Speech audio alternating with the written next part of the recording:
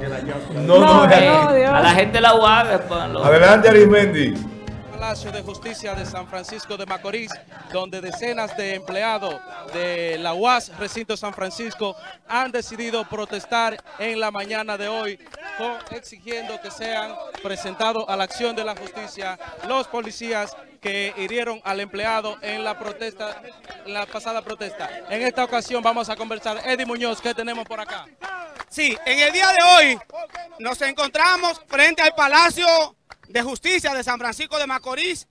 Vamos a entrar donde la magistrada Smarling, porque nosotros entendemos que el intento de homicidio por una banda que se conformó en asociación de malhechores para delinquir y violentar el código de procedimiento penal en la República Dominicana. Deben ser sometidos a la justicia y condenados como tal, ya que el compañero, las informaciones médicas que tenemos es que podría tener lesiones permanentes y los empleados y empleadas del recinto UAS San Francisco de Macorís llegaremos hasta la última consecuencia para que los responsables vayan al banquillo de los acusados y paguen por la agresión que le hicieron a nuestro compañero Moisés de la Cruz.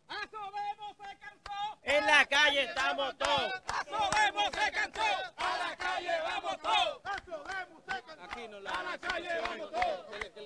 Miren, eh, hasta ahora nosotros no hemos tenido una respuesta satisfactoria por parte del general de la plaza.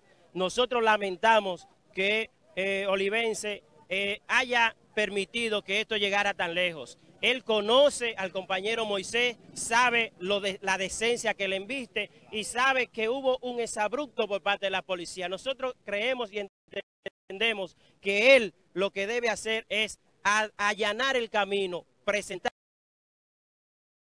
la dotación policial, porque nosotros seguiremos exigiendo justicia.